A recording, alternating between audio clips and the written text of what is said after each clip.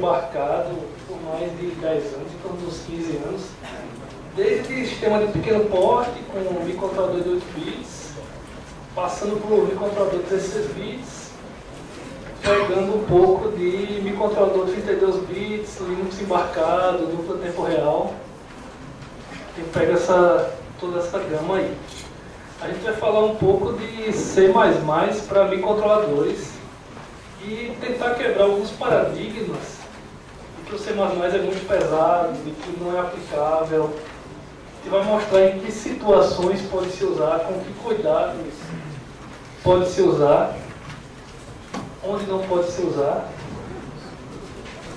Uma revisada rápida, Olha, você deve saber, o sistema embarcado é um sistema que você faz normalmente para desempenhar ou uma função simples, simples ou um grupo bem definido de funções. É diferente de um PC, por exemplo, que eu posso usar para N aplicações. O sistema embarcado ele é feito, ele é desenvolvido normalmente com recursos de hardware e de software suficientes para atender apenas a uma finalidade ou um grupo de finalidades específicas é, normalmente no sistema embarcado se vai usar para simplificar, para ficar mais barato, o microcontrolador. Onde você tem a parte de processador, memória, I.O., interface a hardware, tudo dentro de um único chip. Passando um pouco em arquitetura de sistemas embarcados, vai ser importante para a gente saber. Dá para ver? Dá, né? Mas é importante para a gente saber quando aplicar C++, quando não aplicar, o que é que pode limitar. Normalmente todo sistema embarcado vai ter o, o núcleo processador, que é realmente necessário, não tem como não ter. Memória RAM, que pode ser interna ao microcontrolador ou externa. Memória flash para programa. Normalmente vai se ter um controlador de interrupções temporizador, contador, vai estar fazendo o controle de tempo do meu sistema. É comum você ter SPI, I2C, portas seriais assíncronas ou ARTs. Normalmente vai ter alguns GPIOs que vão ser usados para controlar, para fazer leitura, atuar periférico. Alguns sistemas podem vir a ter Ethernet para estar conectados em rede USB, que pode ser USB host, USB device ou USB OTG. O USB OTG, para quem não conhece, ele me permite eu tenha um dispositivo que ele pode ora ser um host, ora ser um device, dependendo de negociação, na hora que ele é ativado. Posso ter um barramento CAN para ligar dispositivo de automação, sensores. Posso ter interface para monitor de LCD em, LV, em LVDS, posso ter interface de áudio, posso ter, fazendo parte do meu microcontrolador, uma unidade de gerenciamento de memória, que vai me, vai me permitir fazer, ter recursos como paginação de memória, memória virtual, proteção de memória entre processos, entre tarefas, em alguns casos eu vou ter um barramento de alta velocidade interno, nos ARM normalmente tem isso, que vai me garantir acesso aos periféricos sem ter muita concorrência. A concorrência é meio que controlada por esse barramento. Posso ter SD e MMC ou Compact Flash para armazenamento em massa. Isso vai dar para ver daí no final. Isso é uma arquitetura de um ARM LPC 2148 da NXP, a gente pode ver, ou pode não ver, né? Tem aqui, além do núcleo, um controlador de interrupção vetorizado, barramento, nesse caso aqui é um barramento HB, tem memória RAM, tem memória flash, nesse caso aqui eu tenho USB device, 2C, SPI, tenho duas LARCs, tenho AutoStore, PWM, AD. A memória de programa e memória RAM. Em alguns casos, posso ter uma interface para memória externa também. Algumas famílias de microcontroladores, partindo do uso de 8 bits, como o AVR, 8051, Z80, os HCS da Freescale, os de 16 bits, pegando o microchip PIC, os 80188, 86 embarcado, que deve ter algum legado que ainda usa, os M16 da Renesas, o HCS12, o S12X, na linha de 32 bits, a gente vai ter os ARM7, os ARM Cortex M3, ARM9, PIC32, PowerPC, os X86 mais modernos, o M32 da Renesas, o R32 da Renesas. A maioria desses aqui a gente consegue, sem grandes problemas, programar em C. Mesmo tendo memória pequena, como no C eu consigo separar bem o que vai ficar na ROM, o que vai ficar na RAM, dá para rodar qualquer arquitetura que tenha, digamos assim, de 512 bytes de RAM para cima. Se consegue rodar um, um C. C++ ele vai exigir um pouco, não vai poder ser executado em todas essas plataformas aí. O que, que eu preciso gerenciar num projeto embarcado em C ou em C++, e o que, é que tem de diferença em relação a um projeto no ambiente desktop? No, no sistema embarcado, eu preciso decidir se eu vou ter um SO ou um núcleo tempo real, cuidando do meu acesso a hardware, meu, minha priorização de tarefa, escalonamento. Se o sistema vai ser multithreading, tendo um núcleo tempo real ou um SO, ou se ele vai ser single loop, fazendo naquele esquema de máquina de estado, por exemplo, que o, o Daniel falou, tenho que gerenciar ocupação de memória, que o sistema embarcado normalmente ele é feito com a memória que se precisa. Se eu tenho um projeto que ele vai precisar de 16K de RAM, eu vou tentar adquirir o mínimo possível para me atender. Eu não preciso está me preocupando em, ah, vou colocar um de 64 KB para, numa situação de futuro, ele poder me atender. Isso tem que ser bem gerenciado, porque o sistema embarcado, normalmente a produção é muito alta em quantidade, qualquer centavo que eu conseguir economizar é importante. Eu tenho que me preocupar com fragmentação de memória. O que é fragmentação de memória? Se eu, se eu no programa C ou C++, que não tiver um núcleo tempo real que gerencie memória, ou um microcontrolador ou um sistema operacional, se eu ficar muito frequentemente aloca, desaloca, aloca, desaloca, aloca, desaloca a memória, o que vai acontecer é que eu vou ficar com o meu RIP todo fragmentado, todo espalhado. Pode acontecer de, numa situação, eu estar alocando, por exemplo, bloco de 64 bytes, desaloco alguns, chego daqui a pouco quero alocar um bloco de 1K na memória, não consigo alocar porque fragmentou. Isso é uma coisa bem perigosa, se, se, se ficar alocando e desalocando. Dificulta um pouco se utilizar C++, mas não impede de se usar.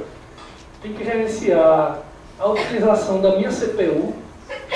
Normalmente eu vou ter uma CPU que não está muito além do que eu preciso, por questão, questão de custo tenho que gerenciar o que eu vou ter de interrupção para tentar não degradar minha performance, tentar fazer manipuladores de interrupção que respondam rápido para manter o sistema funcionando normalmente.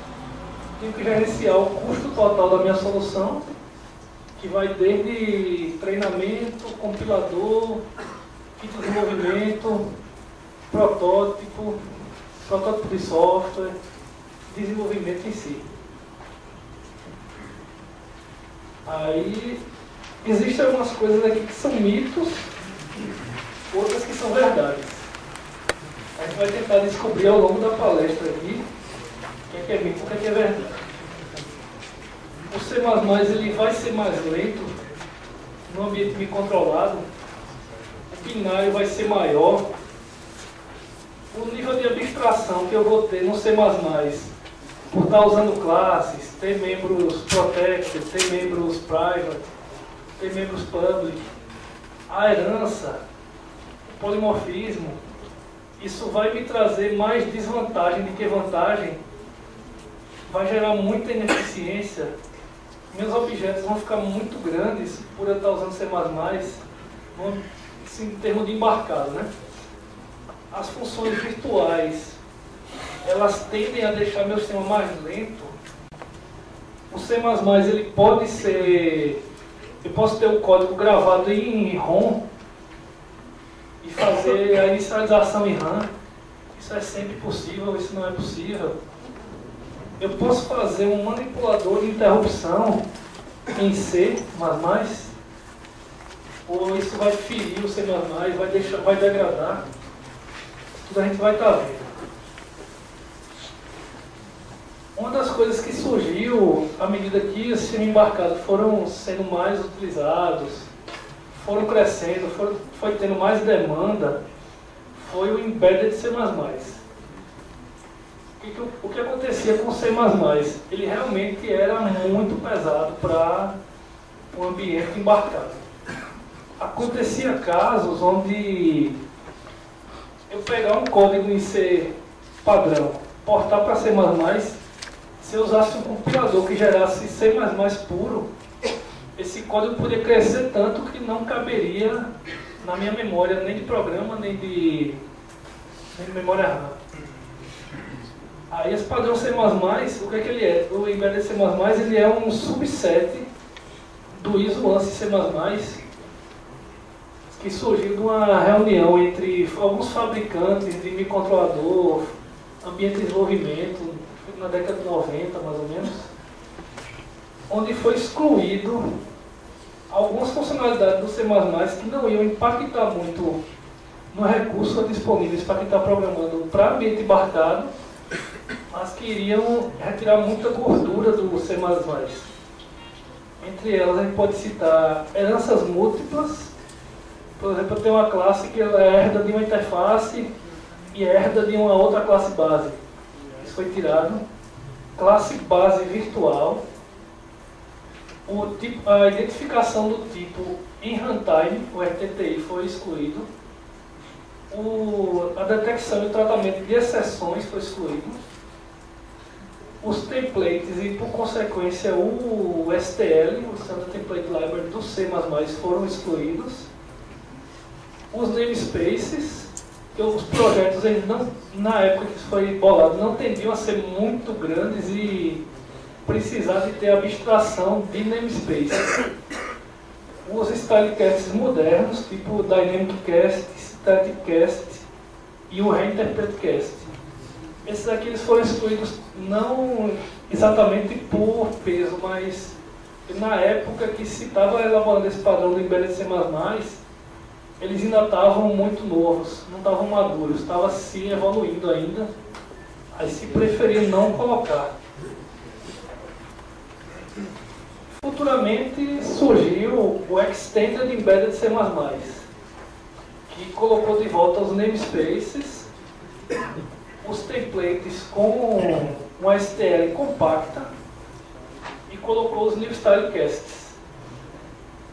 Isso aqui veio acontecer algum tempo depois, já com a evolução dos microcontroladores, o aumento da quantidade de flash que começou a se ter, aumento de memória RAM, por consequência, aumento do tamanho dos projetos, a quantidade de classes, objetos, começou a se precisar abstrair mais, aí se colocou de volta essas três funcionalidades aí que tinham sido excluídas.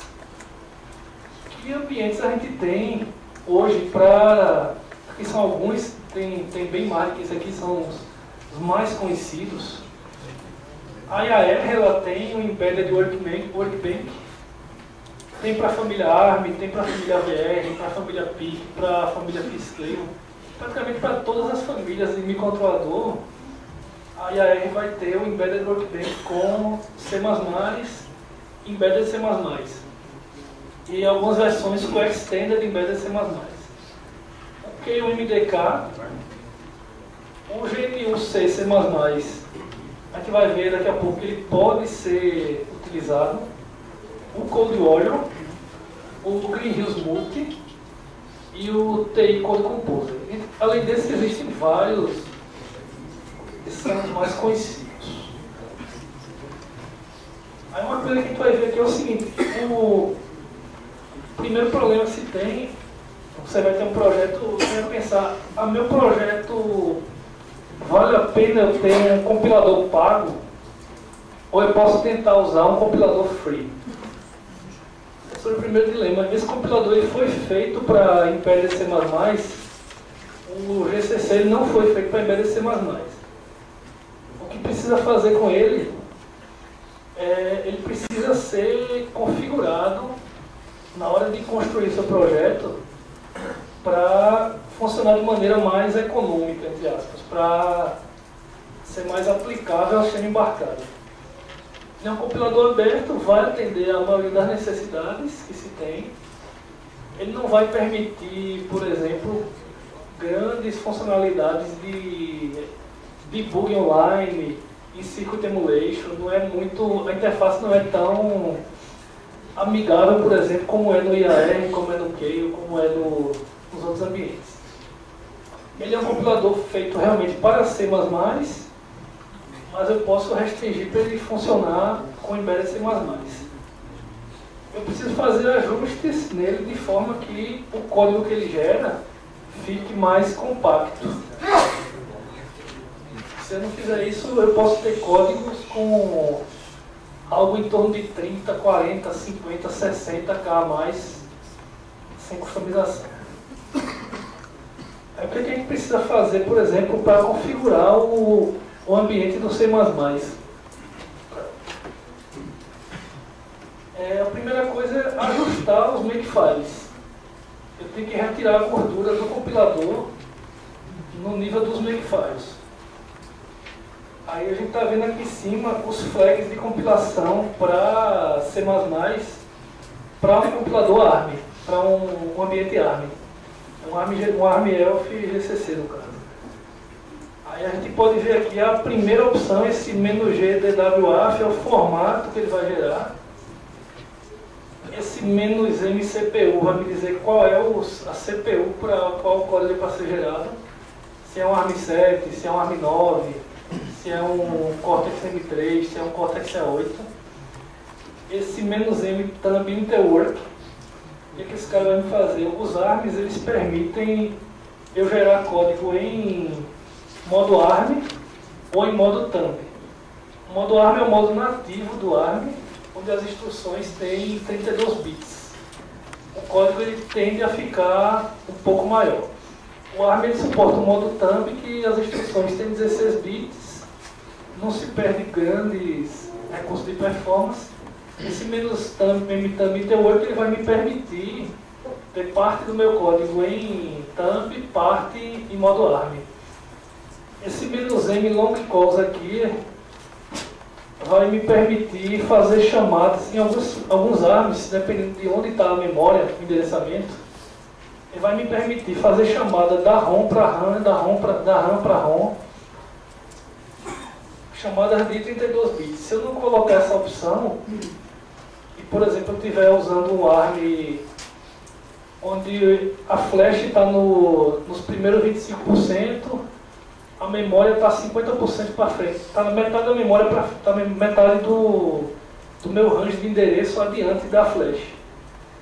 Se eu não colocar essa opção, eu não consigo fazer call de um, da ROM para RAM e da RAM para RAM.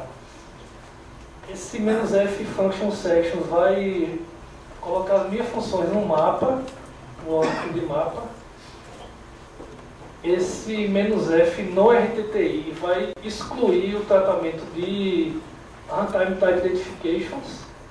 Esse "-f no exception vai excluir o tratamento de exceções. Aqui embaixo a gente tem os flags para C, que muito possivelmente eu não vou traduzir todo o meu código para C++.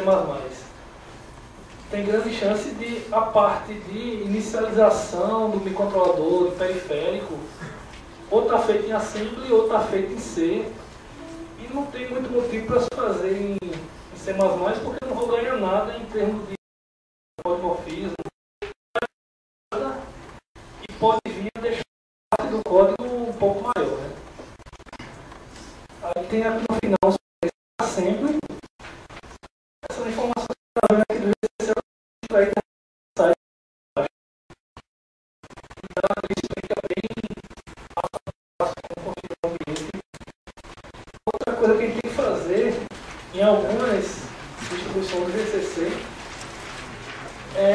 tirar a gordura de algumas funções intrínsecas no computador.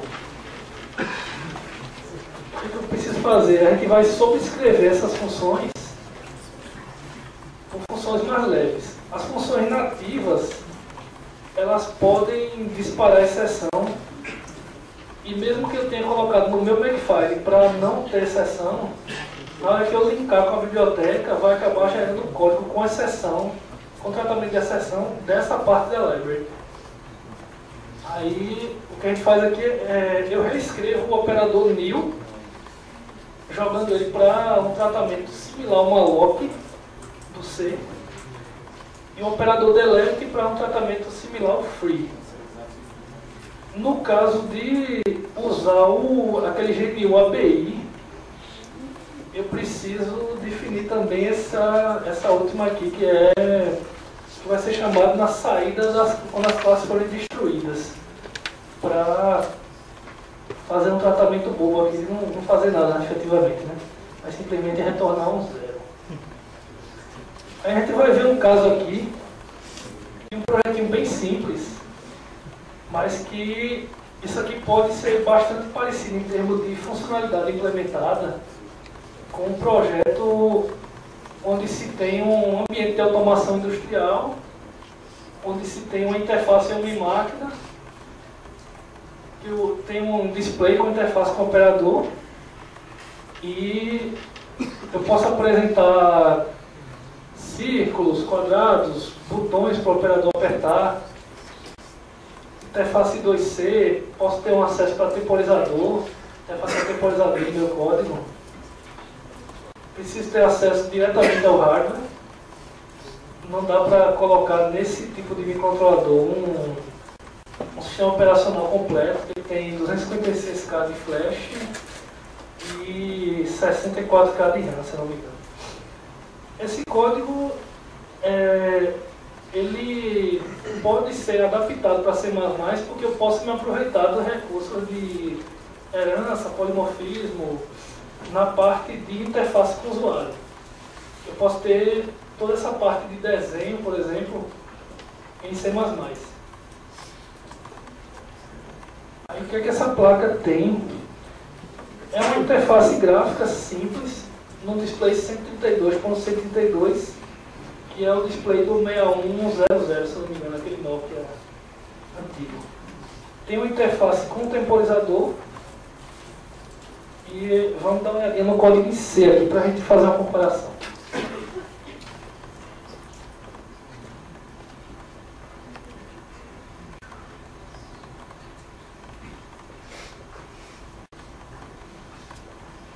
dar uma passada rápida aqui para não ficar muito pesado.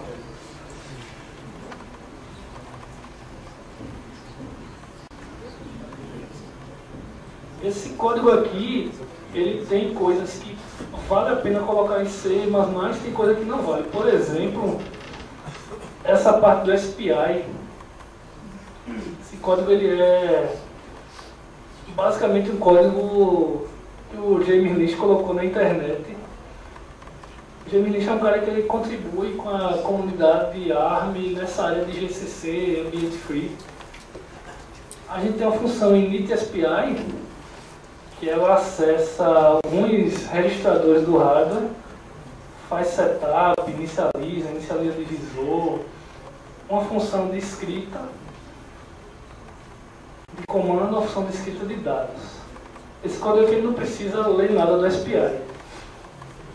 Isso aqui, da mesma forma que ele tem no ambiente desktop, não, eu não vou ganhar nada colocando para C++. Por quê? Porque eu só vou usar esse cara uma vez no meu projeto. vou inicializar ele pronto. Não tem necessidade de ter herança, não vai ter nenhum polimorfismo. Eu não vou agregar nada a esse cara aqui usando C++. Vamos ver outro caso aqui. O manipulador do timer. O que é que acontece com o manipulador do timer? No meu microcontrolador, eu posso ter mais de um timer. Eu posso ter um timer que eu uso para o LCD, um, um outro timer que eu uso, por exemplo, para ligar no conversor AD. Aí aqui eu tenho uma função que inicializa o timer tem um manipulador de interrupção e tem uma função de delay temporizado. Não é, não é simplesmente um delay com, com busy wait. Tenho ainda no código em C aqui algumas funções em C que vão inicializar display, desenhar um caractere, desenhar uma string, desenhar um círculo, desenhar um ponto, desenhar uma linha, desenhar um, um quadrado, uma área pintada. Isso tudo aqui feito em C++.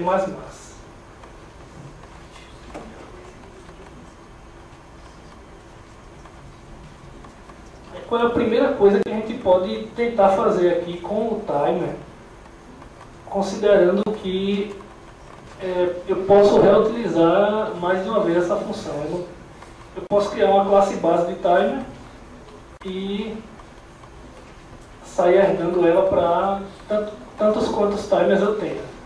Alguns sistemas embarcados com ARM eu vou ter da ordem de 3, 4, 5 timers independentes. Aí vamos dar uma olhada no código do timer.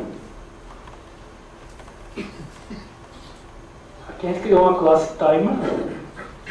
Nesse projeto a gente está usando só uma vez ela, mas pode ser adaptado para ela ser reutilizada. Eu inicializo, tem o tick do timer, que é um manipulador de interrupção, tem aquela função de espera. Aí vamos dar uma chaveada para cá para a gente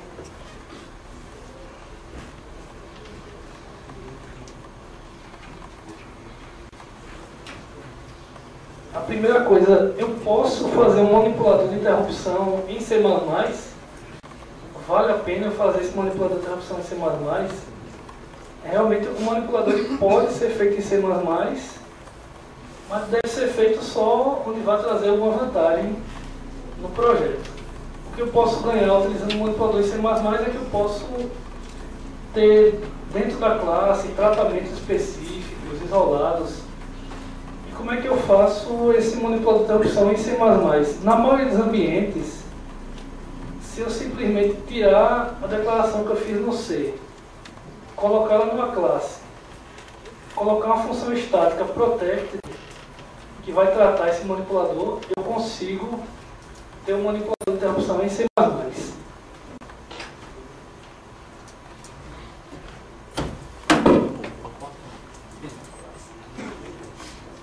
Aí o que, é que eu preciso para portar um código em C para C++? A primeira coisa que eu preciso ver é se vai valer a pena. Se meu código é muito simples, na maioria das vezes não vai trazer muita vantagem. Se o meu código está se usando de herança, de polimorfismo, de encapsulamento, já começa a valer a pena. Aí o que, é que se faz para adaptar um código para C++. Você primeiro vai, é bem semelhante a, ao que faz no ambiente desktop. Eu vou tentar agrupar as minhas funcionalidades em classes, tentar isolar, encapsular, tentar ver o que, é que precisa ser externado da classe, deixar externado só o que for necessário, tentar reusar o máximo possível de código, evitar a duplicação, usar a herança, após isso a gente vai alocar os objetos, as funções que a gente tem vão ser convertidas para métodos e vão ser colocadas dentro das classes. Eu vou evitar estar usando variáveis globais fora de classe, eu vou colocar tudo dentro das classes externado ou por public ou por protected. Eu vou converter os meus manipuladores de interrupção. E o que é que eu preciso ter muito cuidado no ambiente embarcado? Eu tenho que ter é, muito cuidado na utilização de múltiplas instâncias de objeto. Por exemplo, é, eu tenho que evitar instanciar o mesmo objeto, sei lá, 20, 30, 40 vezes. Isso, embora fique uma coisa, em termos de projeto, é, legível, organizado, num ambiente embarcado, começa a bater um problema de falta de recurso, falta de flash, falta de RAM. Tem que estar tá rodando várias vezes, a mesma, é, carregando a mesma instância, ocupando espaço de memória. É, fazer o código mais simples possível porque eu estou no ambiente embarcado e não tenho recursos ilimitados como eu tenho no ambiente desktop, eu praticamente limitado. Né? No ambiente desktop eu posso trabalhar com memória da ordem de gigabytes. Praticamente o programador não precisa se preocupar em estar controlando o recurso, controlando a memória que está alocando, se preocupando com CPU, se preocupando se está aprendendo o processamento muito tempo. É, vamos dar uma olhadinha mais em outra parte do código aqui em C++.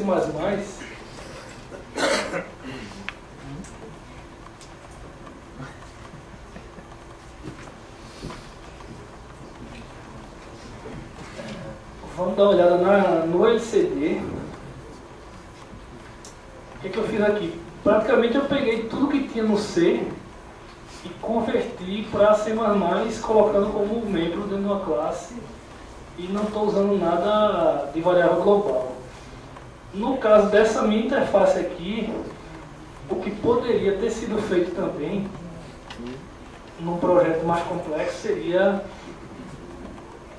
ter maior reuso aqui. Por exemplo, essa função aqui de desenhar linha, ela está aqui ó, nesse ponto chamando uma função que desenha pixel, está fazendo um loop. Tem muita, muita coisa que pode ser otimizada para ficar mais leve. Por exemplo, quando eu estou desenhando uma área, tem um loop que está pintando várias linhas. Poderia ser feito, por exemplo, quando eu tivesse um, uma classe ponto, uma classe linha que herdasse da classe ponto uma classe círculo que herdasse da classe ponto, uma classe retângulo que herdasse da classe linha, uma classe área preenchida que herdasse de retângulo. Aí esse código ficaria mais reusável. Dessa forma que ele está, só para a gente mostrar, não é, não é um código de produção mesmo, ele não está totalmente reutilizável.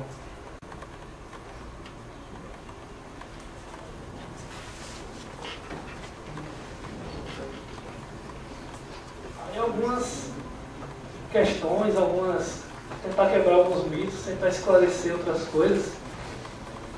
A primeira, eu posso usar C junto com o RTOS, junto com o núcleo tempo real, ou isso vai degradar minha performance, vai ficar inviável, vai ficar muito pesado, vai consumir muito recurso. Aí o que se conclui é seguinte, não há grande restrição de se utilizar C++ com núcleo tempo real.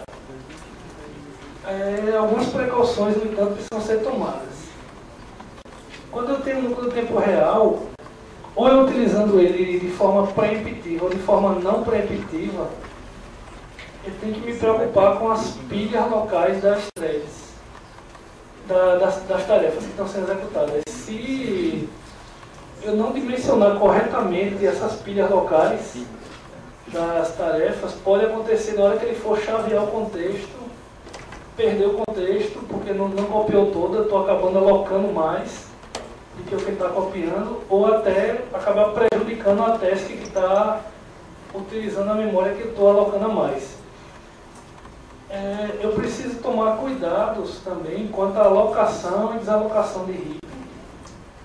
Mesmo usando núcleo tempo real, se o núcleo já não se preocupar com isso, por mim. Se eu usar, por exemplo, um núcleo que gerencie a minha MMU, o meu microcontrolador, que faça mapeamento virtual de memória, ele pode, à medida que eu começar a fragmentar o RIP, ele remapear minha memória física para virtual, de forma que meu aplicativo não perceba que o RIP está fragmentado. Se ele não fizer isso, eu tenho que me preocupar, senão eu vou cair naquele problema de alocar, alocar, alocar, desalocar e acabar ficando com o RIP muito fragmentado e não conseguindo alocar muita coisa nele. Alguns exemplos de núcleo tempo real que podem ser utilizados com C++, tem o FreeRTOS, esse microdigital kernel C++, que eles dizem que é um kernel bem adaptado para se usar com C++, Toda, todo o tratamento de troca de contexto, sinalização, mensagens, ele está feito de forma a ficar bem eficiente em C++, porque pode acontecer do núcleo ele ter boa parte do código dele em C, e na hora que eu estou fazendo comunicação com ele, ele está ele tá, tá, tá usando ponteiro do C, está passando ponteiro de estrutura, ele não está totalmente integrado com C++. E o microCOS também é um kernel que pode ser usado com C++. Eu posso usar C++ com Linux embarcado no ambiente controlado, onde eu tenha um, um Linux embarcado, vai funcionar de forma eficiente, vai ficar mais lento, vai, vai valer a pena. É o que a gente tem no ambiente embarcado com Linux.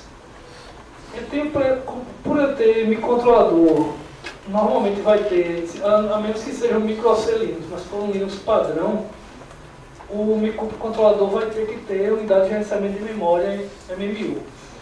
Se o microcontrolador tiver MMU, todo aquele problema de fragmentação de RIP, proteção de memória, já está sendo tratado pelo Linux.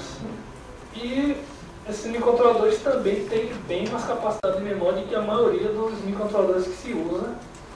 O que é que isso provoca? Que é, o recurso que eu tenho disponível numa plataforma embarcada em C++ com Linux embarcado, embora ele não seja limitado, mas é é bastante comparável com o recurso que eu tenho no ambiente PC desktop. O que eu tenho que me preocupar é só para não usar a memória toda que eu tenho, porque ela não vai ser limitada como é no ambiente PC. E o que eu posso fazer também no Linux embarcado? Como é, as funcionalidades de RTTI, tratamento de exceção, na maioria dos casos, elas não vão ser utilizadas, vale a pena eu excluir isso da compilação e liberar mais espaço da minha memória flash do sistema embarcado. Eu tenho que continuar evitando a alocação de múltiplas instâncias. Por exemplo, se eu tenho um banco de dados SQLite e tenho várias classes que precisam acessar, é mais, é mais sábio eu ter uma classe estática, por exemplo, que acesse efetivamente o banco e as outras classes se comunicarem com ela, não, não ficar cada uma por si tentando acessar e está gerando acesso simultâneo, concorrência, num I.O. que vai ser bem limitado comparado com o ambiente desktop. Né? Aí o primeiro mito ou verdade que a gente está analisando. A abstração que o C++ me traz vai gerar muito mais peso, muito mais ineficiência ao meu código. Aí o que, o que se concluiu de analisando isso foi o seguinte, a grande parte dessa abstração que o C++ traz, ela é resolvida no tempo de compilação. Por exemplo, essa abstração de private, public, const, normalmente vai ser resolvido na hora que o compilador der o build no código. Não vai precisar, na hora que for executar, ele ter que ver, ah, isso aqui é público, isso aqui é privado, isso aqui é protegido. Isso não vai gerar grandes pesos na hora do runtime, mas na hora do compile time. Quer dizer, esse aqui praticamente é um mito. Isso aqui não, não acontece. Os binários tendem a ser maiores. O que, é que acontece no C++? Se eu não customizar direito, o código pode realmente ficar muito maior, chegando a ponto de não caber na minha plataforma. Mas a, o que, que a gente pode ter do outro lado? Eu tenho um código orientado a objeto, ele pode ficar mais testável, mais estável. Eu consigo isolar melhor as coisas, eu consigo evitar que uma coisa numa classe estrague uma coisa da outra. No C, a tendência, se não se tomar os cuidados devidos, é uma, um código acabar estragando um negócio que não tem nada a ver do outro módulo, simplesmente porque não foi bem escrito. Aí esse aqui, digamos que ele está no meio. Uma parte é mito, que vai crescer muito. Outra parte é verdade que a parte vai crescer, mas é, é pouco. Um compilador bem customizado, um ambiente bem setado, o, que pode se ter de gordura pode chegar a algumas centenas de bytes, um, poucos kbytes. Pode não, não crescer muito, mas realmente não tem. Não se consegue ter muita abstração sem ter um pouco de peso, né? É, manipulador de interrupção não pode ser feito em C++. Esse aqui a gente até viu ali no código que pode. Se eu usar uma classe estática, uma classe estática não, uma função estática dentro de uma classe, eu posso inicializar o controlador de interrupção apontando para essa função e a partir do momento que essa função for disparada, eu posso, posso ter todo o tratamento feito dentro da classe, usando de herança, usando de polimorfismo. Eu tenho só que tomar cuidado para não deixar o manipulador de interrupção muito pesado. Tentar fazer coisas muito demoradas. Se for mais demorado, a gente escalona para fazer no outro momento, né? Coloca na fila, não fazer dentro do manipulador de interrupção em C++, também se aplica no manipulador em C, eu não vou colocar muito peso dentro dele. Aí esse aqui é 100% mito mesmo. Eu posso, sem nenhum problema, ter um manipulador de interrupção em C++.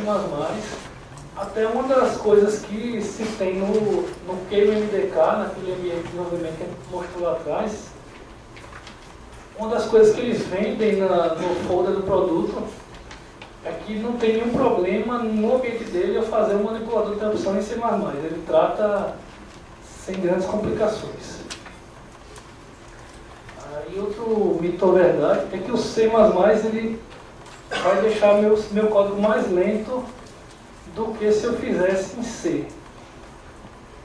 Aí, algumas vezes realmente isso pode acontecer.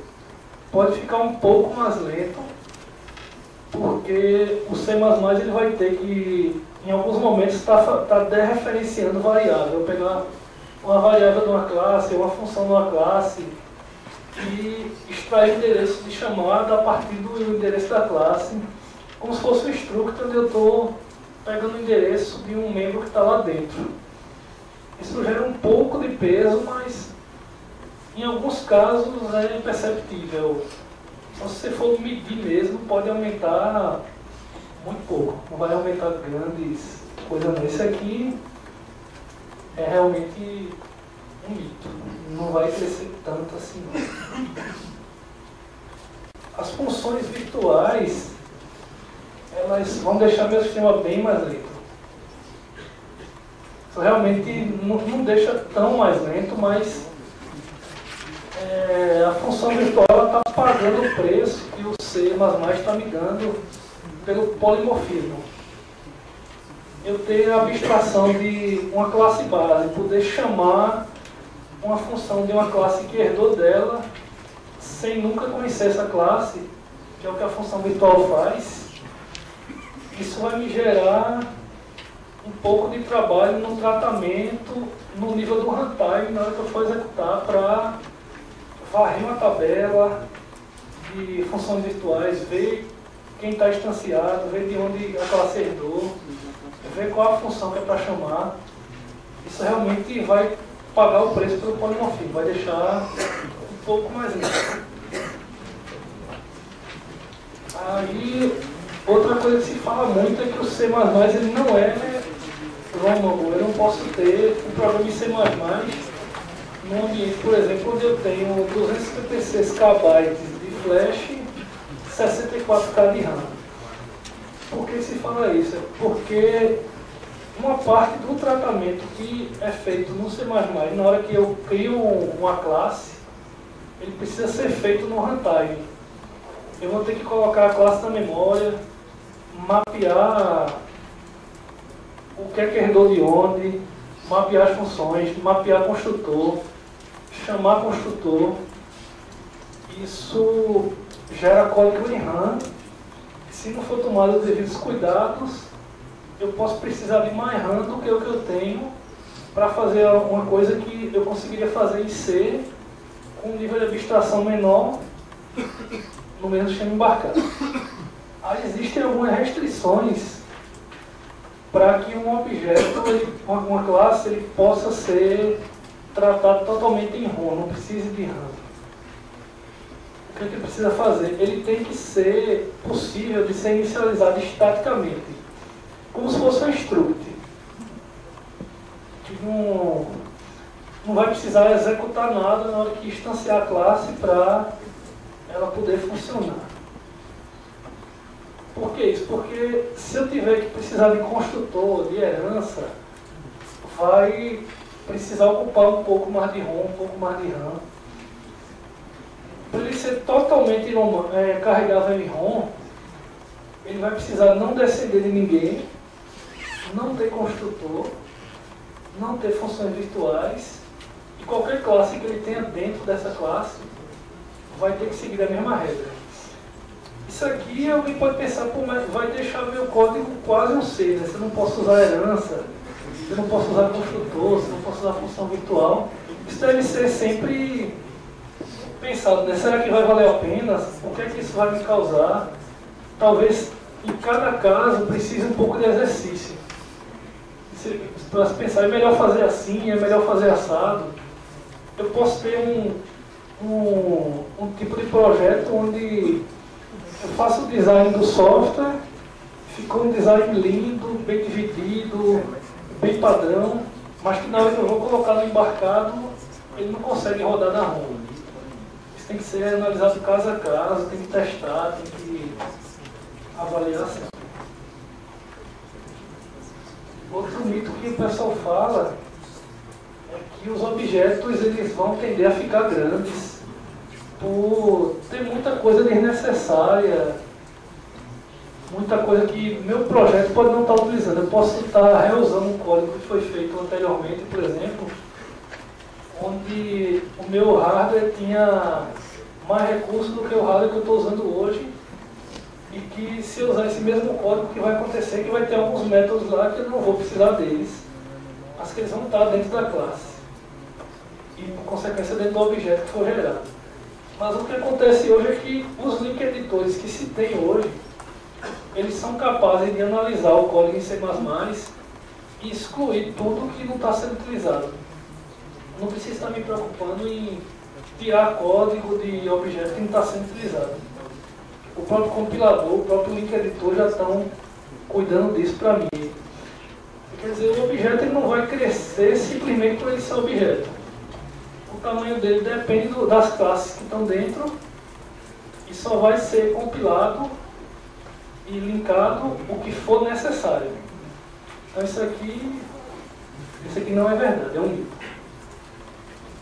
Aí a gente abre para as perguntas.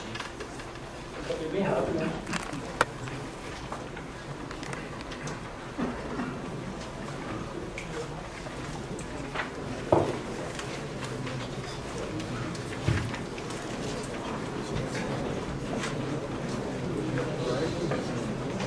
Vamos lá, pessoal. É possível que não sobrou nenhuma dúvida, né?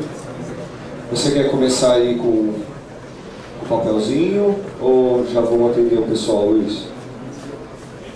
Como é que é? Tem algumas questões aqui? É, isso é uma questão que o professor mandou aqui. Pediu para citar algumas coisas. Vamos dar uma passada. Vamos lá. É, pediu para citar o seguinte, que existem alguns recursos do C++ eu posso economizar bastante memória. Seria o seguinte, inicializadores estáticos. Quando eu tiver uma variável que não precisa ser modificada durante a execução, eu posso permitir que essa variável fique direto na área de código, ela não vá para a RAM. Aí isso vai economizar a minha RAM. Na hora que eu construir, o compilador vai conseguir ter certeza de que essa variável não vai ser mexida e vai colocar na RAM. Outra coisa que ele fala aqui é o in place new, que é o operator new. Permite que eu passe para ele uma posição pré-alocada que eu possa controlar a memória a partir de um pool que eu tenha e tentar reduzir o problema de fragmentação. Por exemplo, eu poderia ter na minha região de memória lá do RIP, eu chegar e dizer, olha, eu tenho, se o cara me pedir um bloco de 100 bytes, eu tenho bloquinhos aqui. Se o cara me pedir um bloco de 1K, eu tenho uma região da memória que eu designo para isso aí. Aí eu posso tentar é, diminuir o peso do, do NIL ou do malloc, se ele estiver usando diretamente, por estar tá passando para ele um, a posição já alocada. Eu já dou para ele a posição alocada, ele já vai saber que ali pode colocar, não vai precisar estar tá procurando onde é. Aí eu posso otimizar minha memória colocando blocos para alocação de menos bytes, blocos para alocação de mais bytes. Quem tem mais perguntas?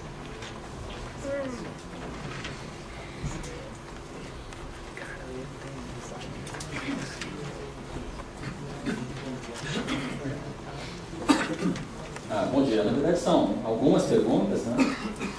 Por exemplo, no caso de. É, você falou para. É, é, utilizar com cuidado as múltiplas instâncias, você não poderia usar um singleton ali para... Em que caso? É, por exemplo, você está fazendo acesso a um, a um SQLite, por exemplo. Né? Poderia, poderia. Mas é, teria alguma vantagem em fazer isso? Usar, o que você falou, o método Usar uma estático. classe estática, né? Uhum. Uma classe estática é praticamente um singleton, né? Uhum. É uma, uma outra coisa. Você teria uma ideia do tamanho da runtime C++, mais ou menos? Quanto o mínimo? O, o que eu li é que o, o runtime mais o, os exceptions gera algo em torno dos 50 a 100 KB. 50 a 100. Os dois juntos, né? Por exemplo, para projetos práticos, é, por exemplo, aquele sistema do Google Android, por exemplo, que eles fazem na concorrente do iPhone. Uhum. Né? É, ele usa um Linux embarcado, um processador é ARM, isso. E tem uma biblioteca extremamente extensa. Tem uma, sei que tem uma máquina virtual Java lá também. Tem. Mas ele usa, eles usam C++ também? Alguma... Eu não cheguei a ver fundo o código deles. Mas é, é possível que usem C++.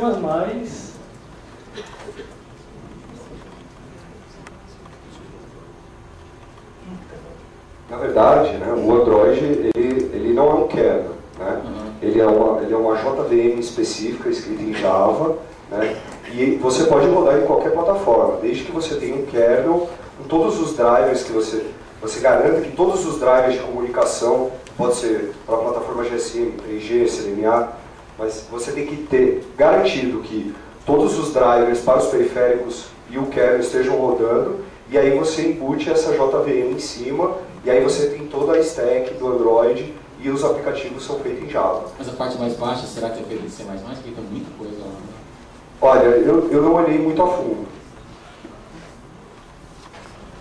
Ah, aí, no, é, eu não sei dizer com certeza se é em C++ e se eles estão tomando esses cuidados. Mas é bastante possível que estejam tomando esses cuidados. Embora no ambiente que ele está, ele não tem grandes restrições de memória que possam impedir ele usar RTTI, etc. Porque esses celulares eles vão ter de flash alguns megabytes e de RAM eu acho que vai ter pelo menos uns 32 megabytes. Só mais uma última coisinha. É, Para misturar, por exemplo, C um assembly é relativamente simples, mas para assembly com C++, embarcado? É bem parecido. Eu, é, muito, depende, depende muito do ambiente, mas possivelmente eu vou num bloco de C é, é, pegar uma referência de uma coisa externada no assembly e chamar o C++. Eu vou... Deixa eu ver aqui que eu te mostro. Não, não tem um, um exemplo de assembly aqui com C++, mas faria... Faria parecido.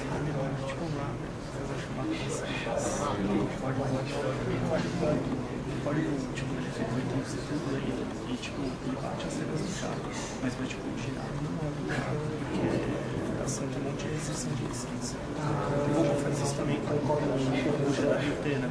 Você tipo, e. Então, faz várias coisas assim, cara. Eu faria, colocaria dentro dentro do código em C, um externo em C, compilaria ele com o compilador do C++, e muito possivelmente na maioria dos ambientes, se eu colocar uma referência aqui que está externada, por exemplo, criar uma função que aciona uma referência que está no assembly. Deve funcionar sem grandes problemas. Ok, obrigado.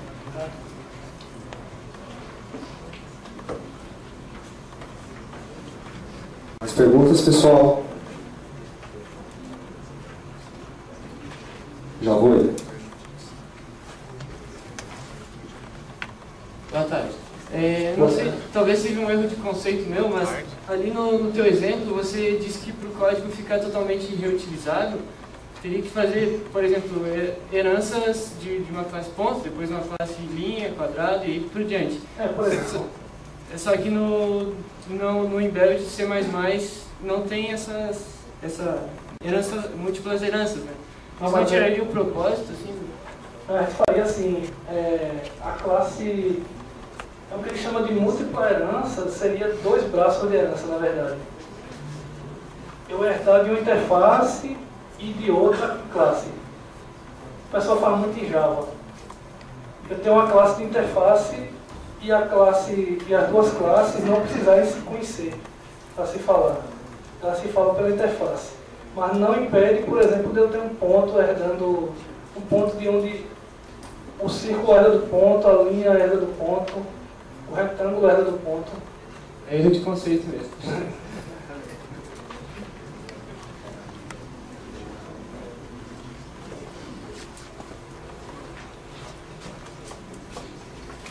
É, Para mim não ficou muito bem claro como se poderia fazer o tratamento de fragmentação de memória. Podia explicar para gente? Você pode minimizar ele da seguinte forma. É, imagine que meu aplicativo ele pode, ele pode ter trechos que alocam blocos de 100 bytes, trechos que alocam blocos de 256 bytes, trechos que alocam blocos de 1K, de 2K. Se eu ficar fazendo a alocação sempre do mesmo pool de memória, pode acontecer de começar a fragmentar demais. Eu pegar um de 1K, colocar um de 128 bytes depois, um de 256, um de 1K depois. E se eu desalocar só os pequenos, deixar os grandes, vai ficar difícil de alocar. Não, é, por exemplo, se eu tiver um intermediário entre o pequeno e o grande, eu posso não conseguir um médio. Aí, uma estratégia pode se fazer é o seguinte, em, até no Linux, alguns alocadores fazem isso, alguns alocadores do C fazem isso, que é, em vez de eu ter um pool único, eu deixar um pedaço da memória reservado para alocação de blocos a partir de tantos bytes, um pedaço para blocos médios, um pedaço para blocos pequenos. Aí eu posso, na hora né, passar para unir o ponteiro já alocado no pool certo.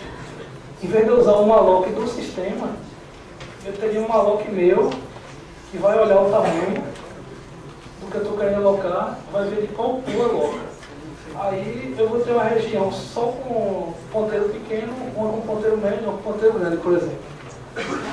Aí eu consigo, sempre que eu, eu precisar de um ponteiro pequeno, ter uma área do médio e do grande. Não, vai ficar tão espalhado. Eu diminuo o nível de fragmentação desse ponto.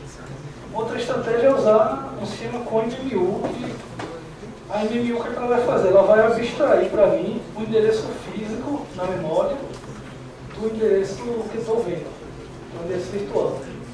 Aí o núcleo de tempo real ou o sistema operacional, ele já cuidaria disso para mim. Se ficar desfragmentado, ele vai refazer o mapeamento do virtual para o físico e vai conseguir cobrir aquela fragmentação e deixar uma área contínua. Embora na memória não esteja fisicamente contínua. Respondeu? Obrigado.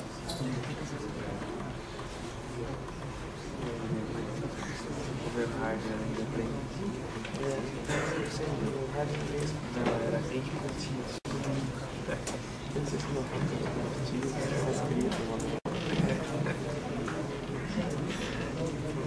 dia.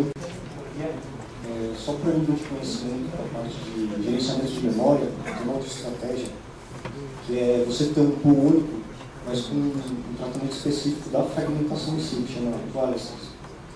Tem compressão também específica, quem quiser dar uma olhada, qualquer código da software aí, do tem esse tratamento. É, outra coisa em relação aqui ao micro verdade de objetos serem grandes, né? Aqui onde se diz em relação ao tamanho da classe, é, o tamanho da classe sendo calculado através dos métodos, é, creio que aqui seja é, a palavra métodos é, queira dizer membros, né? Isso, isso, seria membros, tem razão. Então, é isso.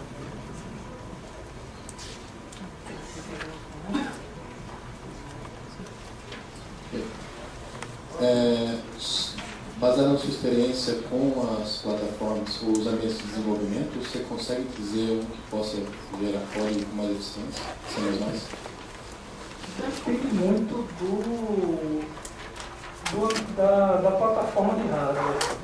Por exemplo, se eu for gerar para ARP, vai ter um que vai acabar ganhando. Se for gerar para FreeScale, ARM7. ARM7, hoje em dia, o compilador da IA e o compilador da Keio são muito bons para gerar código menor, mais otimizado. O GCC, um dos problemas dele é que ele não foi feito para ser embarcado. Ele é um compilador full, C++, se reduz as funcionalidades para ele rodar embarcado, mas ele não, na geração do executável, ele não se preocupa em deixar o código compacto. Obrigado.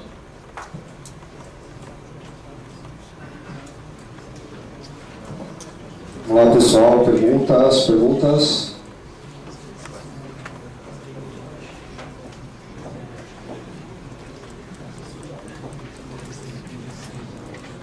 Ninguém tem mais perguntas?